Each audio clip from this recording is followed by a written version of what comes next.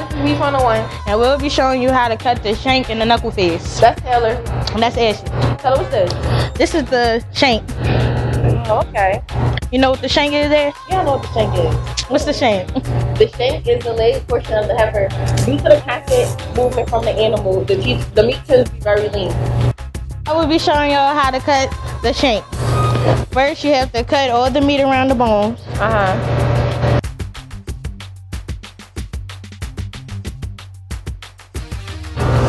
Okay. Now, after you're done cutting all the meat around the bone off, you will end up end up with three muscles. No, you gotta help me cut the, the fat off. All right. I'm gonna you. So I'm gonna just get this piece. This shank, the meat is used for ground beef. It's going to be used for ground beef. You have to cut it up in cubes.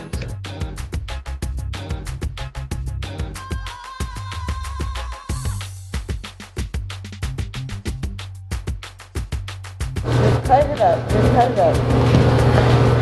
Don't some of this go in the uh, the trimming? trimming? Yes, this could go into cumin, which is used for ground ground beef. Nice ground beef. Uh, patty. Boom. That's it. Let's.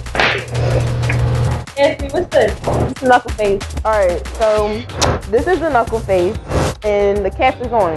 So we have to remove the cap. Okay. So that's what I'm gonna do right now. So that one, you remove the cap.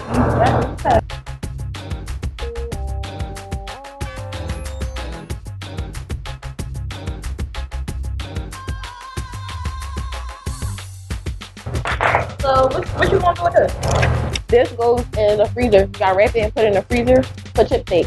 What's chip steak? Oh, you use it for uh cheese steak and stromboli. Everybody likes cheese steak. So, what's the meat? This you gotta cut the fat off and the skin off, and you're gonna use it for pepper steak. So I'm gonna give you a piece so this go by fast. So you just like cut the meat off, and you gotta make sure you cut the pepper steak in thin slices. Just like that, straight like that. And then you wrap it, you price it, and you weigh it. Goodbye. See you next time on Meat 101. Deuces.